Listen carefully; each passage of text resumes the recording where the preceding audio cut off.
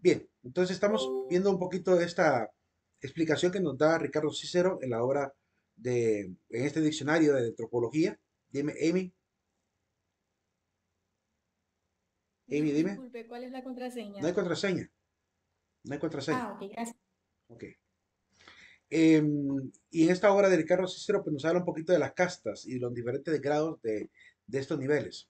Pues claramente eh, las tres primeras castas eran la de eh, los negros, blancos y, e indios. Al relacionarse cada uno de ellos generaban el primer nivel de castas. Luego, en la relación del negro con el primer nivel de casta, generaba el segundo nivel de casta. Luego, quizá con solo uno que se generara de la segunda casta, relacionando, digamos, a la India con cada uno de ellos en línea vertical, se seguían estableciendo nombres para las siguientes castas. Entonces, vamos a ver un poquito esa parte de, de distribución que, que nos explica Ricardo Cicero. Dice que si se mezcla, en aquel momento creían que mezclar, bueno, un negro con una india producía un lobo o sambo de indio, así le nombraban al hijo naciente de negro e india. Entre, entre india y blanco era mestizo, entre negro y blanco era mulato. Ese es el primer nivel de castas. Luego van a tomar al negro, a la india, al blanco para poder mezclarlos con el sambo, el mestizo y el mulato. De esta manera, para generar el segundo nivel de castas. Entonces, India con sambo produce un sambaiga. India con mestizo produce un coyote. India con mulato produce un chino. Chino negro, evidentemente. Eh, en el caso de, del negro con el sambo, produce un sambo prieto. Negro con mestizo produce un salto atrás prieto. Negro con mulato, un sambo. Blanco con sambo produce un castizo. Blanco con mestizo, un ladino salta atrás. Blanco con mulato, un morisco. ¿Verdad? Que su apariencia es más o menos muy semejante a la apariencia de los hindúes. Ah, Perdón, a la apariencia de los árabes. Eh, por eso le llaman morisco, porque tiene apariencia de moro. Eh, es interesante porque de, de alguna manera yo, yo le presto debida atención a esto porque me hago la pregunta si esto no es en realidad, si no estaremos viendo en realidad una especie de explicación genética de las castas. Es decir, lo que realmente parece que, parece que es esto, ¿verdad? Y podría ser interesante. No hay contraseña, Fernando. Eh, y después tomaban de repente, por decir algo, alguno de estos, zambos o castizos o ladinos, y lo mezclaban con la India para generar el tercer nivel de castas. Entonces, por ejemplo, una India con un zambaica producía un barnizo, una India con barnizo, un albarrazado, India con albarrazado, un chamizo, India con chamizo, un cambujo, India con cambujo, un lobo torna atrás, India con lobo torna atrás, tente al aire, y, e India con tente al aire, y este es el último nombre que me da bastante risa, es el de ahí te estás, ¿verdad? El de ahí te estás. Imagínense que te dijeran, ¿y tú de qué raza eres? Ahí te estás, ¿verdad? Eso está un poco hilarante esto. Pero bueno, es, es parte de lo que recoge el catálogo de colección de antropología de Ricardo Cicero del año 1895, de lo que se supone estaban intentando hacer en México, ¿verdad? Eh, de estar recogiendo esta de- deri- derivación genética o, o de mestizaje entre los diferentes niveles de castas. Pero como les decía, platicando con amigos del sur, eh, tengo algunos amigos de Argentina, otros de Ecuador y Colombia, eh, a través de las redes sociales, que compa- compartimos temas de política y de, nos gustan diferentes cosas, y eh, me platicaban que esto no funcionó en América del Sur. Es decir, que nunca se ha escuchado hablar de esto, ni nunca lo han enseñado en las escuelas. Pero aquí en México sí, en México por lo menos sí hubo un, pequeño intento alrededor de ello. Pero también hay que mencionar en el tema de esta, de- estamos viendo las consecuencias de la conquista y dentro de la consecuencia del mestizaje, tenemos que mencionar un caso interesante, que el mestizaje no solamente es eh, sometiendo al indígena, también han habido españoles que de manera voluntaria ellos han querido mezclarse con el indígena. Y el caso más interesante es el caso de Gonzalo Guerrero, o Gonzalo Marinero, o Gonzalo de Aroza, o Gonzalo de Aroca, que son los diferentes nombres que le han dado a este personaje, que es un español que se salió de las, de las filas de los españoles para enamorarse de una indígena y tener familia con ellos y dedicarse incluso a ser defensor del indígena contra los conquistadores. Vivió entre el año 1470 a 1536. No hay contraseña, jóvenes. Jóvenes, eh, eh, apenas lleguen a, entren a clase, quiero hacer un pequeño paréntesis para explicar esto. Apenas entren a la clase, vayan directamente al aula virtual, entren a la asistencia, ¿verdad? Si ven que hay contraseña, Si ven que les pide contraseña, la solicitan. ¿sí? Si ven y que no hay contraseña, solo pongan presente y guardar. ¿verdad? Esto para que cuando no haya contraseña, ¿verdad? Eh, evitemos esta parte de, de, a cada momento, Cuando no haya contraseña, pues todo el mundo va a poder ver que no hay ninguna casilla pidiendo la contraseña. Entonces, en ese caso, usted tiene la libertad de solo colocar presente y guardar. Para que revisen primero en la plataforma antes de solicitarla en sesión. Ahora, si está, si está ahí, pues claramente la pueden pedir. Em, en este caso, pues, eh, Gonzalo Marinero de Arosa se sale de la fuerza de los españoles y luchó contra ellos. Se volvió un mártir prácticamente de la lucha contra los conquistadores eh, durante la época de Pedro de Alvarado. Considerado como el padre del mestizaje, llamado el renegado, también llamado con estos nombres que había mencionado al principio, Gonzalo Marinero, Gonzalo de Aroca, Gonzalo de Aroza, ¿verdad? Que son los nombres que le han dado en ese momento. Ese es básicamente ahí cierro este pequeño paréntesis, hablando un poquito de la consecuencia del descubrimiento, de consecuencia de la colonización que es el mestizaje. Pasamos a la siguiente consecuencia. Se cambia la jerarquía colonial. La jerarquía colonial que antes era rey, noble y campesino, ahora pasa a subdividirse un poquitito más, porque va a tener que incluir a los mestizos, va a tener que incluir a los hijos de españoles nacidos en América, va a tener que incluir a los indígenas y va a tener que incluir a los esclavos. Entonces la jerarquía colonial, prácticamente la jerarquía social de la colonia, se conformaba de la siguiente manera. En la cúspide están los españoles que vienen de, la península, los peninsulares, ¿verdad? Que obviamente pueden optar a diferentes tipos de cargos. Ya mencionaremos cuáles son los cargos de cada uno. No hay contraseña. Era España, Gonzalo, Gonzalo Marinero. Eh, por otro lado, está de los criollos, ¿verdad? Que son los hijos de españoles nacidos en América. Eh, en este caso, pues podían optar a ciertos cargos, pero no a cargos muy elevados, ¿verdad? Solamente unos cuantos, quizá como encomendadores por mucho. Ya veremos la distribución específica de cada uno de ellos. Después están los mestizos, ¿verdad? prácticamente los mestizos, mulatos y zambos, que eh, también ocupaban cargos coloniales, ¿verdad? Pero cargos coloniales y secundarios, más se dedicaban al comercio, más se dedicaban a hacer eh, sus industrias, ¿verdad? Pero al menos tenían la posibilidad de estudiar, tenían la posibilidad incluso de salir al extranjero a estudiar, como pasó con un mulato famoso que ya mencionaré. Y también están los indígenas, que tenían que, eh, al principio, los primeros años, antes de la libertad, se trabajaban como esclavos en las minas, igual como les tocaría después a la al último nivel de la jerarquía, que son los negros, los esclavos venidos de África, que van a trabajar obviamente eh, de manera forzada, ¿verdad? En los campos y plantaciones y minas. Em, como les digo, el indígena como va a tener libertad muy pronto, ¿verdad? Ya para el año 1560 por mucho, ya, ya no había indígena esclavo en ningún lugar de América, eh, ya podía incluso participar de la vida cotidiana. No podían quizás asistir a colegios y universidades porque no, venían de una familia pudiente. En, caso, caso diferente, los mulatos y mestizos. Ellos eran hijos de españoles. Entonces, como eran hijos de españoles, tenían una mejor condición de vida para poder ir a estudiar. Esa es la razón por la cual muy pronto tendremos a gente mestiza en cargos coloniales. De hecho, quisiera mostrarles rápidamente por acá, aquí en la, en la carpeta de Historia de Honduras. No sé si eso los había mostrado a ustedes pero por las dudas lo voy a mostrar rápidamente. Quiero mostrar aquí mi carpeta. Bueno, voy a, mostrar la pantalla completa. Ahí. Eh, tengo aquí eh, tres imágenes, ¿verdad? Que son muy populares de tres personajes que, aún siendo negros, aún siendo mulatos o negros, en ese momento podían optar a cargo de capitanes, como don Francisco Menéndez, capitán de la milicia del ejército español en los estados españoles de Norteamérica para el año 1738 pudo formar parte de esta, esta comisión. ¿verdad? Al final dice que los comerciantes de esclavos capturaron en, África a Francisco Menéndez, lo vendieron a un colono inglés de Carolina del Sur, escapó tras saber que España ofrecía la libertad a los fugitivos que se convirtieran al catolicismo. Entonces, Francisco Menéndez al final se convierte en capitán de la milicia del ejército español. Estuvo al mando del primer asentamiento de negros libres en Norteamérica en el Fuerte Mosé, provincia de la Florida, capitanía de Cuba.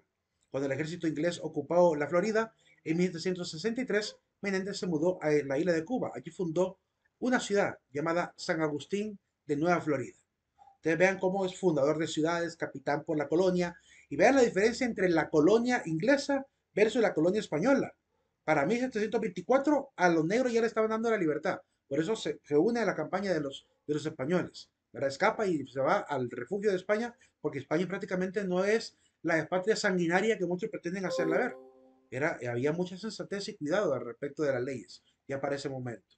También está el otro caso de Jorge, don Jorge Bisó, general del ejército español de 1741. Es el primer general negro de los Estados Unidos, ¿verdad? Que, fue, que era de origen español militar español nacido en Haití, isla de la Española, durante la guerra de independencia contra Francia, dada, dado que la isla de la Española, además de poseer una parte española, también una parte francesa. Los esclavos eh, de Francia decidieron luchar contra los franceses uniéndose al bando oriental, es decir, al bando español. Allí el gobernador eh, español, García, reclutó a los esclavos rebeldes. El gobernador le dio las armas, suministros, salarios y la nacionalidad española. En ese momento, en 1791, George se convirtió en Jorge Bissot, un ciudadano libre y general español del ejército de auxiliares.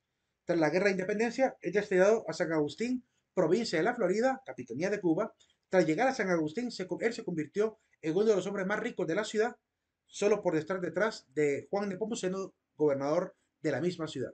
Murió en San Agustín, Florida, en 1801 a la edad de 60 años. General condecorado de España se erigió en su honor una estatua de tamaño natural en la ciudad de San Agustín, la Florida, Estados Unidos, por ser el, oficial español de más alto rango en San Agustín. Te vean, alguien de origen negro, haitiano, ¿verdad? De pronto, general, general gobernador incluso, ¿verdad? De, eh, ciudades españolas. Y el último caso es el caso que tengo por acá de eh, Don Juan Garrido, que aparece aquí. Esta es la pintura de Don Juan Garrido, ¿verdad? Vestido como un español noble, fue capitán de Hernán Cortés y uno de los conquistadores de Tenochtitlán. Tiene el honor de ser el primer negro que pisó América. El primero, y no solo era un hombre libre, también era un aventurero y un soldado de Nuestra Señora Majestad. César del Sacro Imperio Romano Germánico, rey de España Carlos V. Además de ser un oficial de Cortés y de liderar los pueblos indígenas del yugo azteca y de sus depravadas torturas, tiene su segundo honor, no menos llamativo, que fue la primera persona que cultivó trigo en el Nuevo Mundo, era un hombre docto y habilidoso. Nació en el Congo, cuando los portugueses tenían dominios en África, y en Portugal recaló haciéndose cristiano, viajando luego a Castilla para hacerse súbdito de los reyes de España, Fernando e Isabel. Participó en la conquista de Cuba y luego se unió a Cortés en su aventura mexicana, destacándose como explorador y su buen hacer en la batalla, hasta tal punto que Cortés lo convirtió en uno de sus capitanes, era un tipo listo y se hizo rico haciendo negocios con el trigo. El hombre hasta levantó una iglesia en la ciudad de Veracruz, una vida apasionante, la de don Juan Garrido. Entonces, esto es lo que hablábamos el día de ayer, ¿verdad? De la importancia también de revisar otras fuentes que nos hablan de lo que realmente pasaba con España y la esclavitud, que eso no lo cuentan comúnmente mucha gente en las redes sociales o en los blogs de internet o en, cualquier blog anti-hispanidad. Es importante eh, revisar toda esa parte y documentación, ¿verdad? Para forjarnos una idea más crítica de lo que realmente ocurrió. No estarían en la jerarquía, obviamente, los mestizos mulatos si hubieran sido discriminados por simplemente ser de origen indígena o negro o, mestizo. Entonces, claramente hay que, tener ese cuidado de no, de no sojuzgar demasiado y hacer críticas, obviamente, sin fundamento. Veamos entonces qué cargo podían optar cada uno de los niveles de la jerarquía social. En el caso de los españoles, podían optar a cargo de virrey, gobernadores, presidentes, arzobispos, oidores, obispos, de párrocos de curas de, parroquias importantes, ¿verdad? Señores eh, de la comunidad religiosas como padres, padres eh, superiores o madres superiores, ¿verdad? Funcionarios de la corona, ¿verdad? Y comerciantes de la corona. Son los cargos que podían optar los españoles. Aquí quiero aclarar que el oidor, a quien se le llamaba oidor, es el que hace el papel de juez en las famosas, eh, en uno de los organismos coloniales llamado las audiencias. Ya hablaremos un poquito de ello más adelante cuando toquemos un poquito de los organismos coloniales. Por otro lado, los eh, criollos. Los criollos podían estar a cargo de encomendador, podían llegar a ser encomendadores, es decir, a cargo de indígenas, capataces de las haciendas españolas, e incluso podían entrar como sacerdotes a la vida religiosa. ¿verdad? Tenían esa posibilidad. Eran hijos de españoles nacidos en América. Em, diferente a los mestizos los cuales eh, podían dedicarse a la vida común, agricultura, artesanía, carpinterías, albañilería, pero respecto a lo religioso, ellos podían, cuando mucho, no podían entrar a ser sacerdotes, pero por lo menos podían donarse a la comunidad de religiosos. Eh, un caso popular de un donato, de alguien que se donaba a sí mismo, es el caso de un niñito que nace en, nace en América, en Lima, Perú, ¿verdad? Eh, hijo de español, hijo de mulata, ¿verdad? Así que nace negro también él. Y, em, bueno, nace hijo de negra y español, nace mulato. Y em, bajo las leyes de España, y la ley incluso de aquel momento que la iglesia también la respetaba, porque claramente era ponerse contra la corona, pues no se le podía otorgar cargos coloniales importantes, ¿verdad? Eh, cuando mucho podía permitirse la entrada a la comunidad en calidad de fraile donado.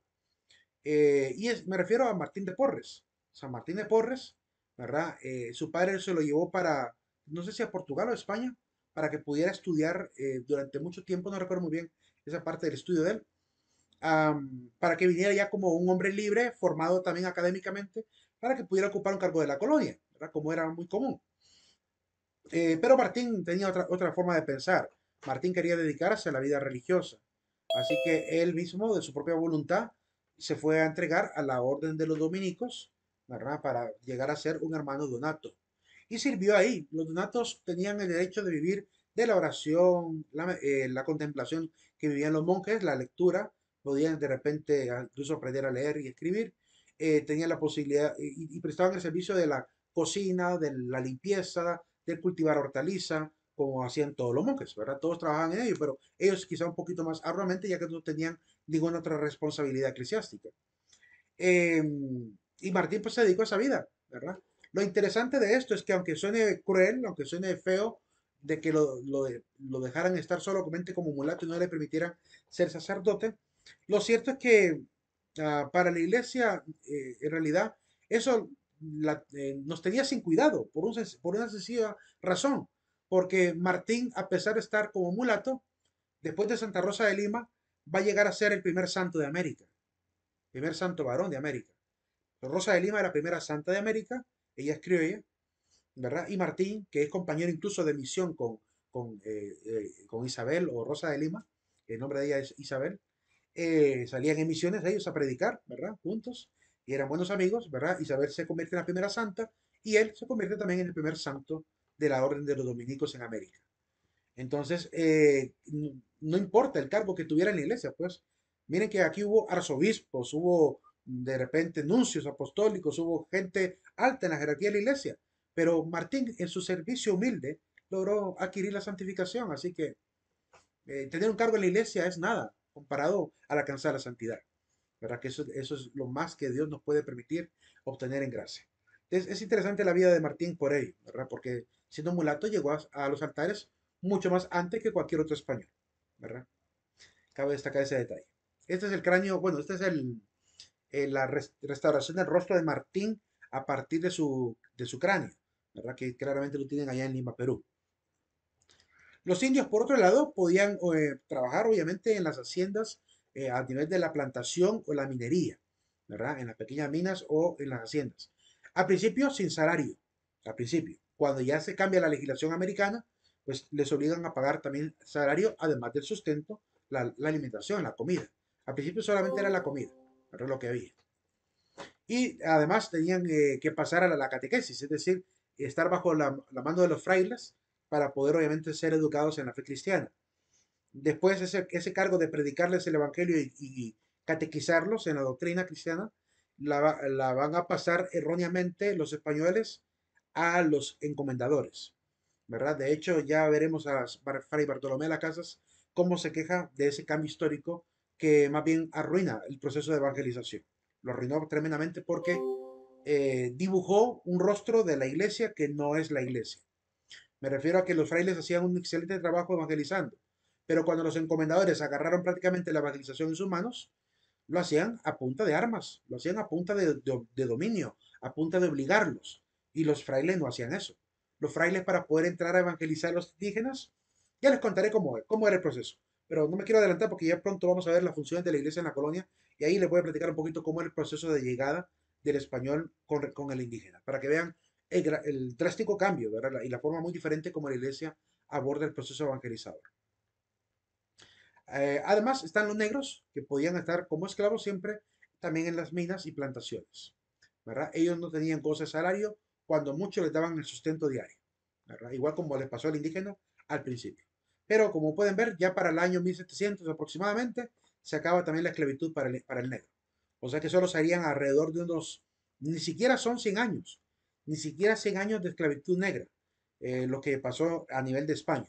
Ya en Estados Unidos sí se alargó hasta 1800, eh, para la época todavía de, de Abraham Lincoln, ¿verdad? Todavía estaban luchando por la libertad del pueblo afroamericano, ¿verdad? Eh, en América, por lo menos española, se venció hace mucho tiempo ese problema de la esclavitud.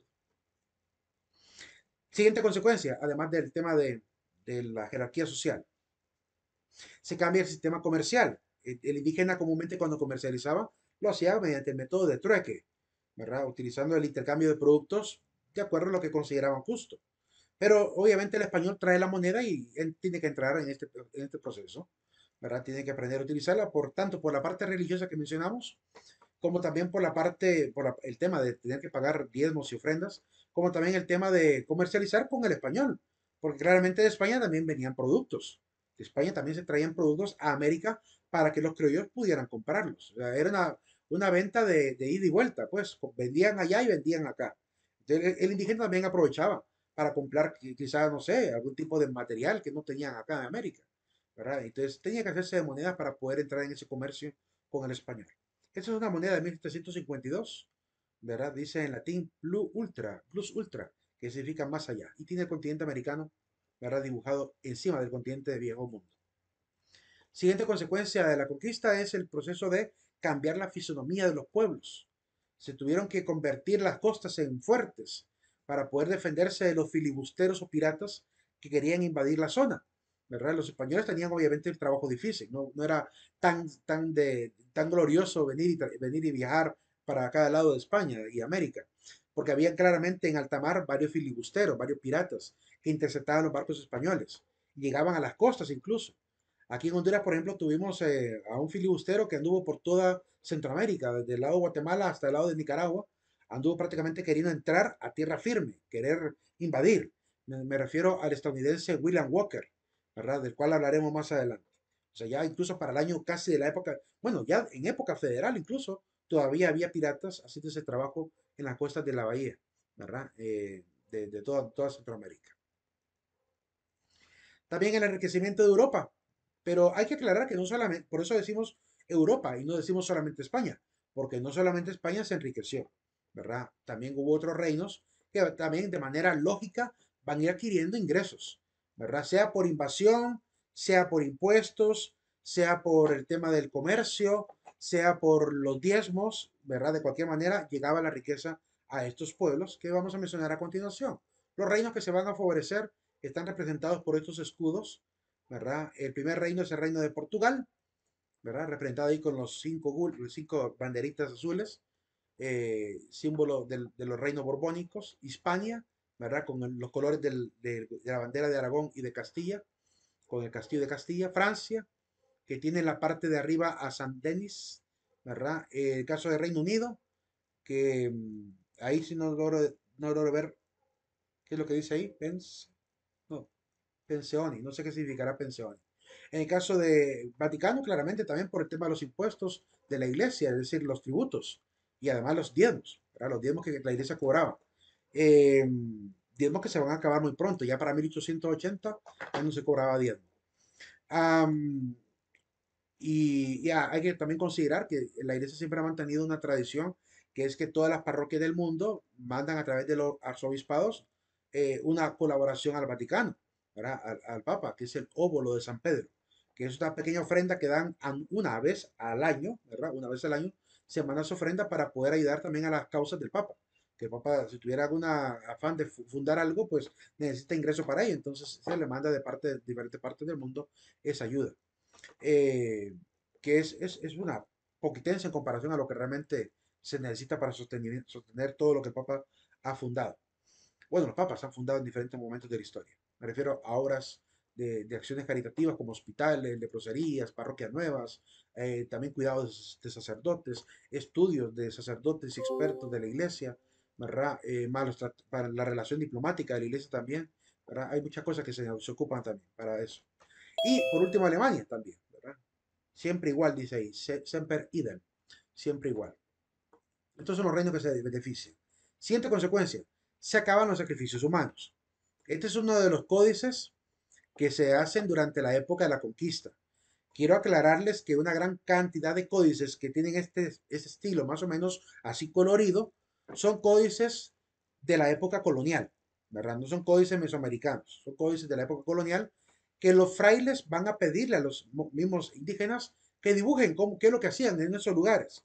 De los indígenas dibujaban más o menos lo que recordaban en su memoria y lo que sus antepasados también contaban de lo que hacían.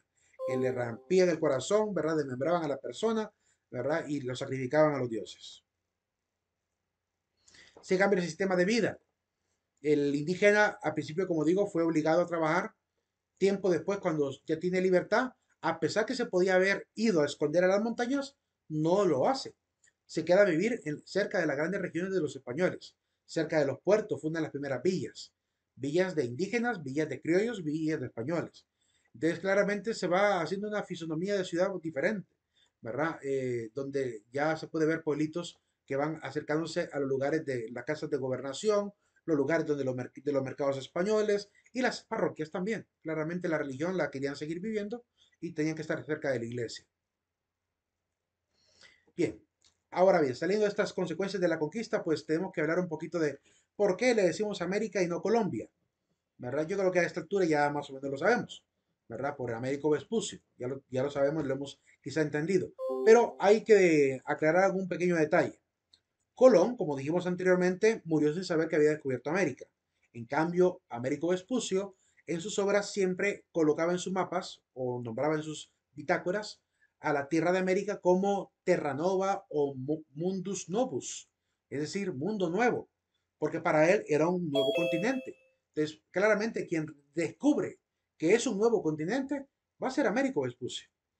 Cristóbal Colón descubre el territorio, pero no se da cuenta que ha descubierto un nuevo continente. El que entra en esa razón va a ser el cartógrafo de la corona. Así que por los primeros mapas que él dibuja, ¿verdad? Y que también, mm, eh, ¿cómo se llama? Cartógrafos posteriores, ah, siguiendo los mapas de Américo Vespucio, le quisieron poner al territorio que él dibujaba, ¿verdad? América, que significa la tierra de Américo. Quiero que veamos un poquito acerca de este detalle. Este es el mapa popular, ¿verdad? Basado en el mapa de Martin Walsh-Müller del año 1507, ¿verdad? Este es el mapa de Martin Walsh-Müller mapa de las Indias Occidentales. Prácticamente son diferentes hojas de una sola de un atlas que se unen, ¿verdad? Y las van colocando así para formar el mapa grande. De, hecho, se, de hecho, se nota en el escaneo, ¿verdad? Que son hojas de papel diferentes, ¿verdad? Además de los marcos. Eh, en esta zona de aquí, en la parte de abajo, exactamente en esta última hoja, ahí se logra ver de repente, no sé si logro llegar, aquí hay una, como una línea, ¿verdad? Esa línea realmente es, una, es un texto que está ahí y es la palabra América, ¿verdad? Que aparece en esa parte. Ahí aparece la palabra América, ¿verdad? Eh, que es la parte, es la parte, quiero ver, me equivoqué. Eh, no, ahí señalé mal. El círculo debería mostrar la última página, porque prácticamente esa es la última página donde está el periquito. Ah, no, sí, sabes, esa es. Ahí está el periquito, de hecho. Aquí hay, una especie de periquito ahí arribita, ¿verdad? Y un barquito a la par. Entonces ahí aparece el nombre de América, que significa la tierra de Américo. Pero eh, al parecer la forma de llamarle América viene de, la forma latina, porque si nos vamos a ser rigurosos con el tema de la historia, mm, podemos ver que el nombre de Américo ha cambiado en diferentes literaturas. A veces aparece en algunos libros como el nombre de Albericus, Albericus Vespucius, Laurencio, ¿verdad? En la obra Mundus Novus, que la obra, es la obra de él, aparece el nombre como Alberico. O sea que eh, de repente nos habríamos llamado Alberica. En vez de América. También hay otras obras donde aparece el nombre de Alberic en, alemán, ¿verdad? Alberic Vespucci Laurezio, ¿verdad? Aparece ahí. En la otra versión de la obra Mundo Novus, ¿verdad? Esta vez en italiano, aparece el nombre de Amerigo, Amerigo Vespucci, ¿verdad? Vespucci. Eh, entonces quizá vendría América, pero claramente la versión que se ha quedado es la versión latina, donde vemos que dice Americus Vespucius, ¿verdad? Que significaría obviamente Américo Vespucio. Por eso es que es el nombre que le hemos dejado. Pero quiero que además, ya que ustedes han leído bastante seguramente ya de Américo Vespucio, con la tarea que hay pendiente de, de control de lectura, ¿verdad? De las 24 paginitas, 26 paginitas, 27 paginitas creo que son, de las bitácoras y fragmentos de esta obra Mundo Novus, que ustedes habrán leído. Eh, supongo que ya la mayoría ya, lo leyó. Espero yo que a esta altura ya lo hayan leído, para que estén preparados a control de lectura que va a haber. Em, pues que leamos un pequeño fragmento, algunos fragmentos que, que aparecen en esas obras, eh, para que veamos lo que él nos cuenta de primera mano. Carta de Américo Vespucci. Ahorita un segundito que no puedo desaparecer eso. Dice, dice él, todos de uno y otro sexo van desnudos. Cuenta qué es lo que él vio en las Indias orientales. No se cubre ninguna parte del cuerpo y así como han salido del vientre de la madre, así hasta la muerte van. Tienen cuerpos grandes, bien plantados y proporcionados, tirando al rojo, lo cual pienso les acontece porque andando desnudos son teñidos por el sol. Tienen los cabellos abundantes y negros, son ágiles en el andar y en los juegos, de una franca y hermosa cara que ellos mismos destruyen. Se hacen, perforan, se perforan la nariz, los labios y las orejas. He visto muchos que tienen la cara, en la cara siete perforaciones, cada una de las cuales tenía el tamaño de una ciruela. Y cierran, estos, cierran ellos esas perforaciones con piedras cerúleas, marmorias y de alabastro. De hecho, en América del Sur es más drástico todavía, porque en América del Sur hay una etnia eh, de origen que creo que de indio guaraní, que ellos se rompen el labio inferior, aquí, se hace un gran, gran eh, agujerito, ¿verdad?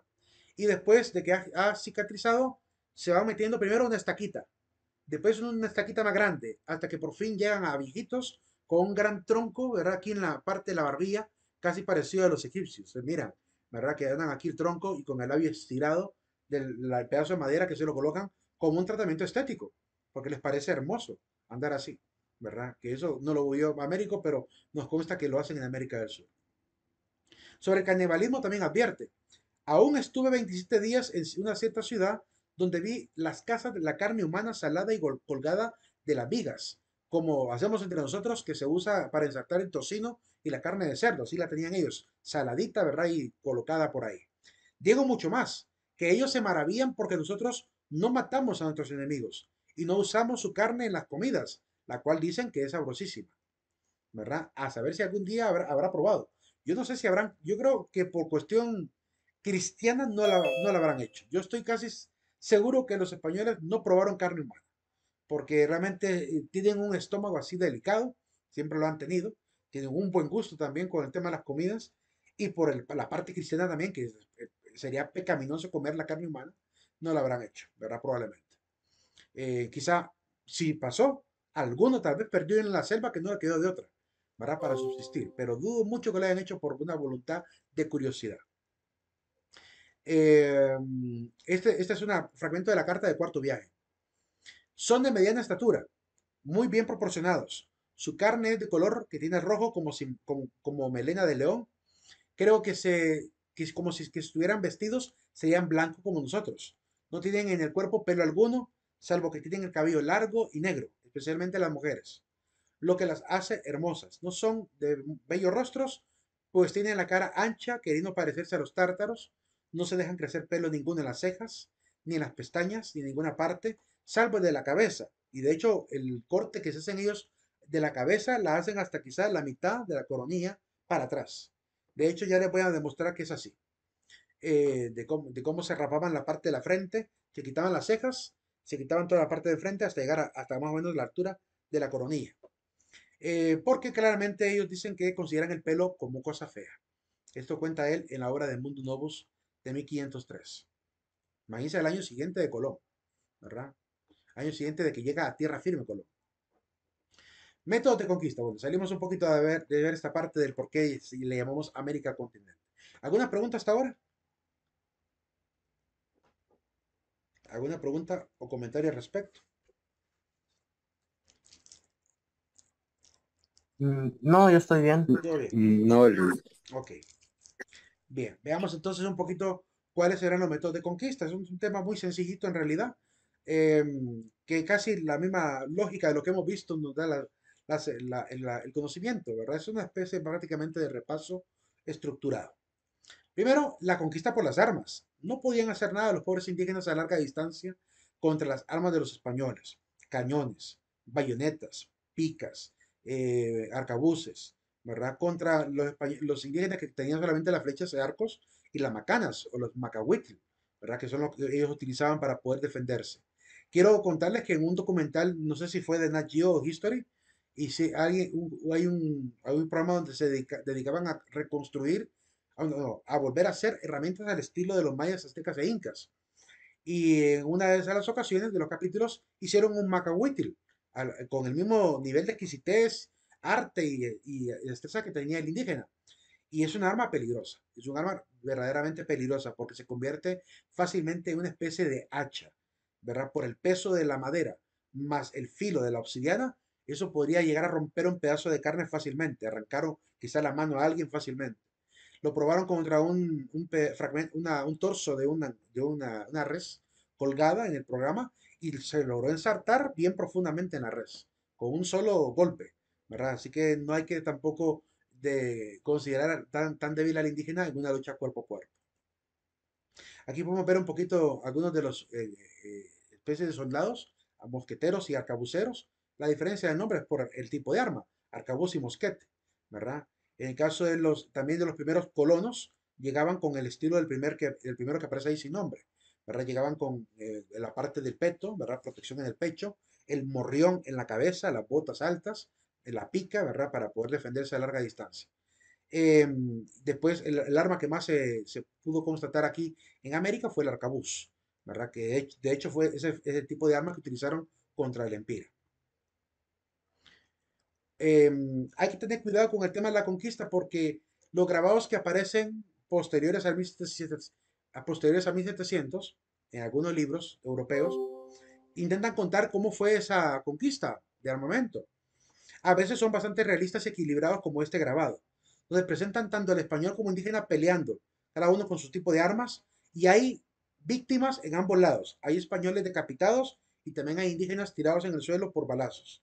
O sea que ah, hubo de todo un poco, ¿verdad? Eso es algo importante en, la, en esta descripción pictórica de la historia.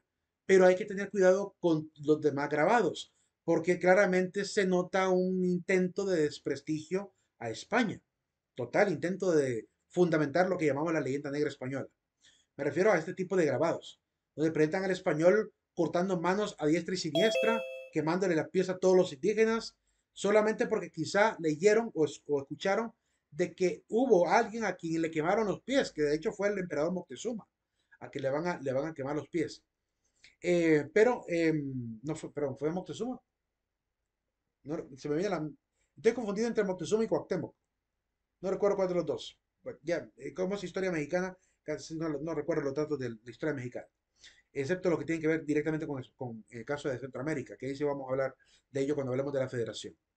Pero eh, el hecho que le quemaran los pies a alguien no significaba que era un método generalizado, pues. El hecho que de, repente le cortaron la mano a alguien no significa que era algo que hacían a todos los indígenas, ¿verdad? Si no, eso, esto los indígenas lo habrían seguido contando y, y manteniendo en la memoria. Entonces, es claro que quizás lo hacían con uno que otro rebelde, pero no significa que lo hicieran así con todos, ¿verdad? Porque hay algunas imágenes que pareciera que exageran demasiado. O este, por ejemplo, donde aparecen mujeres y hombres colgados, quemados, todos en fila, mientras que las pobres criaturas las reventaban contra la pared. Es que es hasta absurdo, ¿verdad? Ver este tipo de imágenes que intentan demostrar la barbarie del español, cuando realmente no están así, ¿verdad? No están así. Claramente hubo víctimas, sobre todo los guerreros, que son los que morían en la, guerra, ¿verdad? A, la gente pasiva, a la gente eh, que no peleaba, a la gente que se convertía en alguien sumiso, no les hacían nada, ¿verdad? Que es hasta lógico. ¿Cómo van a echar a perder a alguien que no se está oponiendo, ¿verdad? O matar a alguien de manera tan cobarde. Eh, se olvidan del honor del español, lo que comúnmente intentan con estos grabados narrar una historia que es exagerada y que no ocurrió tal, tan, tanto así. ¿Que hubo algunos indígenas quemados? Sí, en América del Sur hay casos de indígenas que fueron quemados, ¿verdad? Como traidores, como eh, habían escapado no una, sino varias veces, los arrestaban, los volvían a, castigar, ¿verdad? Y ah, por último prácticamente los terminaban acabando con ellos. Em, que obviamente en medio de ese, de ese trayecto, ¿verdad? La iglesia estuviera metida, también es otra cuestión que también hay que saber equilibrar.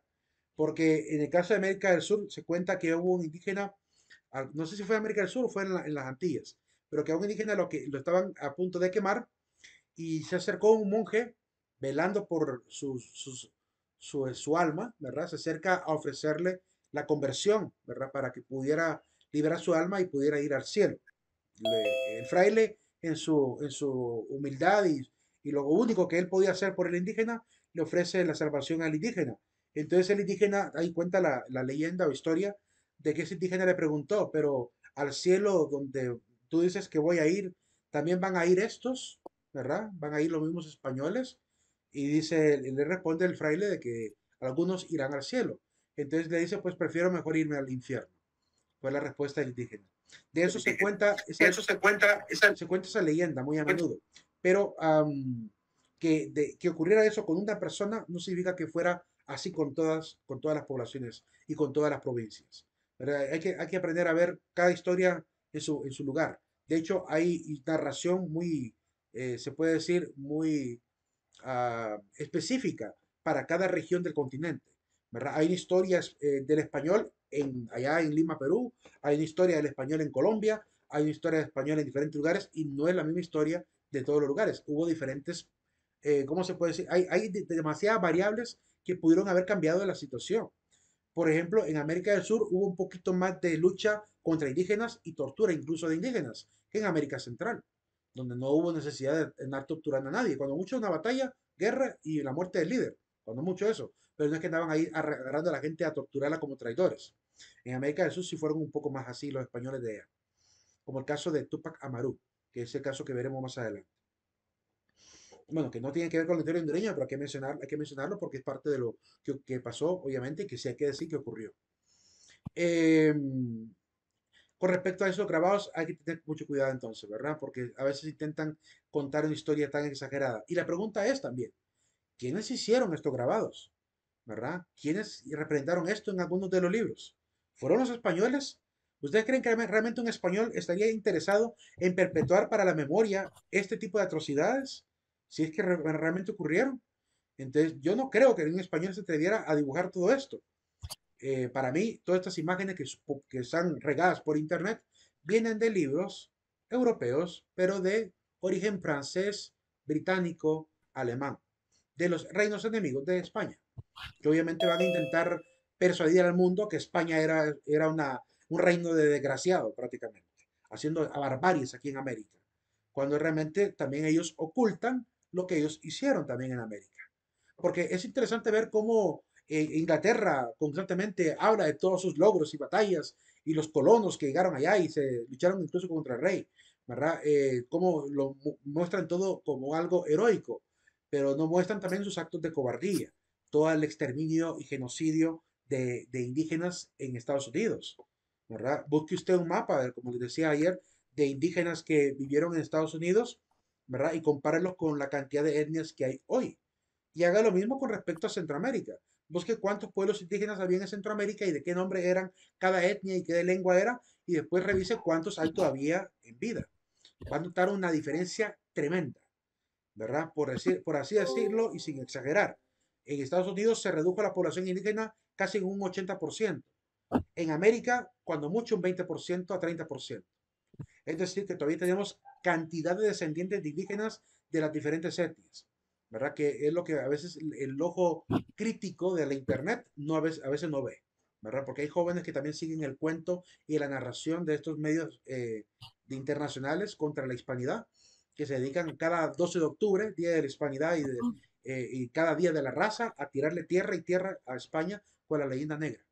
Por eso les decía el día de ayer, eh, participen en los grupos de Facebook donde hay eh, ¿cómo se llama? Eh, bueno, hay personas que aman tanto la historia de España que comparten literatura, libros, PDFs, videos de expertos que intentan hacer la reevaluación de lo que realmente pasó para que vean también todo lo que no se dice, ¿verdad? Y, recapacitemos un poquito antes de denigrar a España, como decía Sailing ayer, aún consciente de que somos herederos de esa historia, porque somos descendientes muchos de los, de los mestizos, somos descendientes de los criollos, somos descendientes, ¿verdad? De mulatos, de, de, los, de los indios de Zambaigas y todos ellos. Que claramente eh, no podemos negar que esa historia nos pertenece, ¿verdad? Y hay que hacerlo con un criterio eh, objetivo. Así que cuidado con esas imágenes desgarradoras que a veces se ven en el internet, ¿verdad? Porque incluso a legua se nota que tienen un estilo británico de, dibujo. El estilo colorido es muy, parecido a los dibujos que hacían los británicos en sus libros de historia. Prosiguiendo, el tipo de conquista psicológica también ocurrió que para, el, para aquel momento hacían comparaciones, los ingleses sobre todo, miren, esta es una obra inglesa, que dice la, capacidad de la percepción, de la intuición, ¿verdad? Del absurdo y del ridículo, ¿verdad? Hay una disposición y habilidad a la, broma y a, hacer, a hacerlo divertido, a la risa, ¿verdad? A lo que es, y, a lo que es eh, inapropiado, ¿verdad? Y entonces, de alguna manera, comparan el cráneo grande del europeo contra el cráneo pequeño, deforme, quizá del nativo. También aparecen obras eh, como estas, donde comparan el cráneo o la, o la cabeza de William Shakespeare contra la de un caníbal de Nueva Zelanda, un jefe caníbal de Nueva Zelanda, ¿verdad? Que lo muestran como deficiente, ¿verdad? Eh, y por tanto tiene un órgano intelectual deficiente también. Entonces hay que tener cuidado con, este, con esto, porque claramente la historia también se ha quedado sedimentada. Se ha quedado sedimentada eh, la, ¿cómo se llama? Eh, esta, permítame un segundito. Se ha quedado sedimentada la, ¿cómo se puede decir? La xenofobia, ¿verdad? La xenofobia que, que hay por... Boctezuma fue, ¿verdad? Gracias, Cia. Gracias por confirmar lo que había dicho. Em, eh, esta, esta idea de que entre más indígena es o rural es una persona, más tonta es. Eso se ha quedado todavía sedimentado en la cultura nuestra, ¿verdad? En la cultura hondureña. Por eso todavía se, se escucha gente, y a veces voy en los taxis o a veces viajo con gente que de repente se le metió un carrito, ¿verdad? De esos carritos así eh, de, de, doble, ¿verdad? Que a veces, a veces bajan de las comunidades rurales y cuando ven a quien va manejando, suena la frase típica de hondureños contra hondureños, diciendo indio tenía que ser. Esa, esa actitud eh, xenofóbica todavía existe hoy en día. Y hay que tratar de evitarla porque viene, viene desde la época española y de todos los invasores, ¿verdad? Que realmente siempre creían como más débiles mentalmente a los que eran de una cultura inferior. Sin embargo, eso no es tan cierto. Mañana platicaremos un poquito más de ello. Vayan al aula virtual, jóvenes, pasen un excelente día, coloquen su asistencia. Eh, no hay contraseña para salir, así que nos vemos el día de mañana. Buenas noches, Lick, muchas gracias. Buenas noches. Buenas noches, Lick. Buenas noches.